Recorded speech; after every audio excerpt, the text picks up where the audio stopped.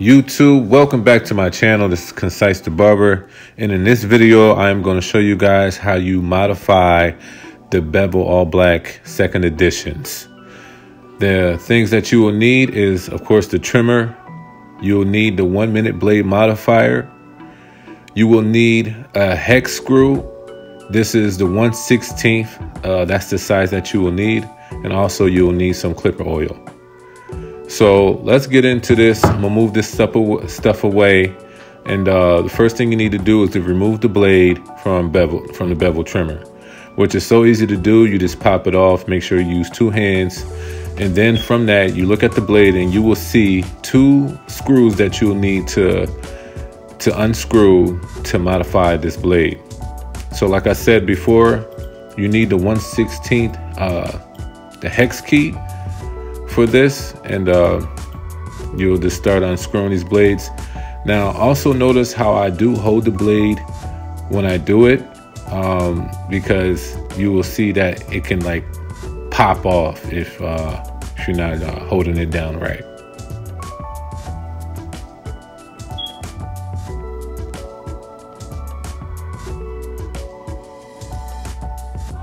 Lighten up, I mean you unscrew both sides just a little bit. And then from there, hold it down, take one out at a time.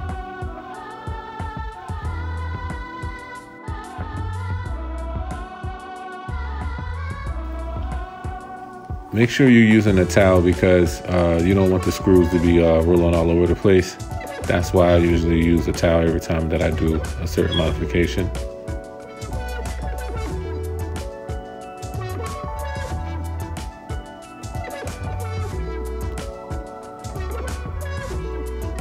Okay, now that's done. Uh, there's sections of this. First, you take off the spring and the black piece that attaches the spring, and you just want to put that to the side. Now, this is uh, kind of simple. You think it looks like a lot, but once you lighten up this that hook part, the whole thing can come off all at one assembly. And I'm gonna go ahead and clean this up a little bit, and then we're gonna modify it. Now, I was kind of surprised that the bevel, the blade was able to use the one minute blade modifier. Of course, um, when you look at the instructions on the one minute blade modifier, the bevel's not on there.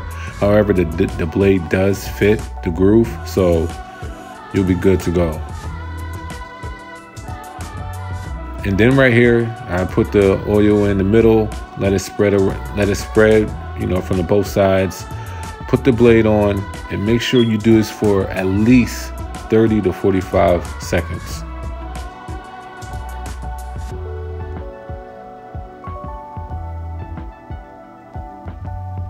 Check your blade every now and then, clean it off.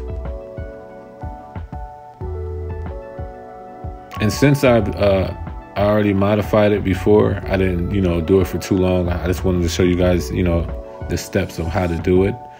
So now let's put the blade back. Remember how I took it off at one assembly? I put it back all at the same time. And then you'll have the spring. Make sure that is on correct. Uh, you'll definitely know because it wouldn't uh, it wouldn't fit on the right on like the right way. But make sure you fit it on correct. And that nozzle where you spin the blade to to move it up and down, that's where that black piece goes. There's like a hole that you have to fit that in. And once you've done that, you get the screws and you put it back in and make sure you press the that tension down so it's nice and tight.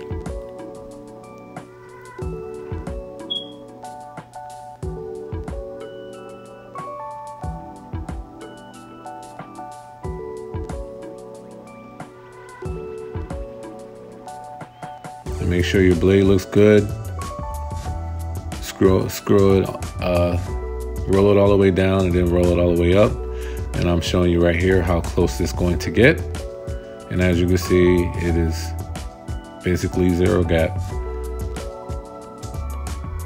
Get the blade, snap it back on, and then boom, there you go.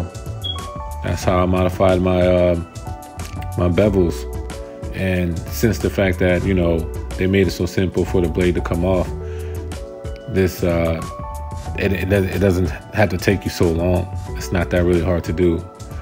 But um, I did want to give you guys this information. So please subscribe, give me a like, and I have more coming for y'all. Thank you. God bless.